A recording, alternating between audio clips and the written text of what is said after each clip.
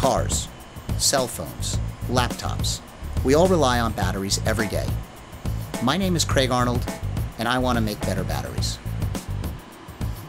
Lithium ion batteries are good, but we all know that they tend to lose their capacity over time, and they don't last forever. Batteries are complex. They're made up of many layers of different materials.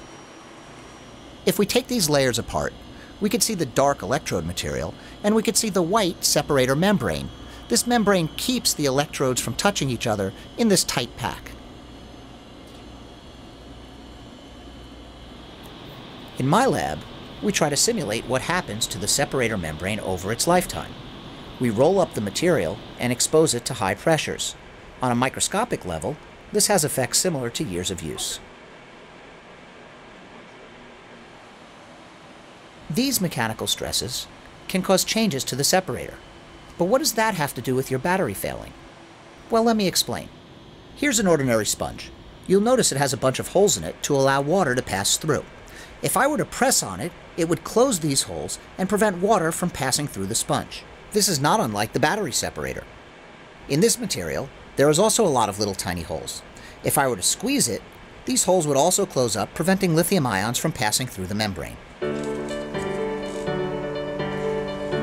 We can see these holes if we use an electron microscope with high magnification. In a new separator, the holes are all over the membrane, allowing lithium ions to easily pass. After simulating long time use and storage, we can see the holes disappearing from the membrane, making it more difficult for lithium ions to pass. So what can we do about this? One way to fix this is to prevent the pores from closing up. Imagine a battery separator that's strong enough to resist mechanical stress. So in fact, batteries are not just electrochemical devices. Their mechanical properties can also affect their performance. By better understanding the science of batteries, we can begin to engineer ways to keep the current flowing longer. Boy, I could really use that in my smartphone. You know, basically, this is the. Hey, Craig.